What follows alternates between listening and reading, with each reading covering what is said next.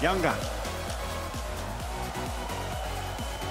En daar is Okita. En die... Oh, wat een fraaie goal van Okita met de buitenkant van de voet. Vlak voor tijd. NEC weer een voorsprong. Wat een doelpunt. Kijk eens hoe hij dat hier doet. Janga die de bal beschermt en let aan de buitenkant voet van Okita. Hier, met één voet bewegen. Het is een hele, hele fraaie treffer. Onbereikbaar voor uh, Olij.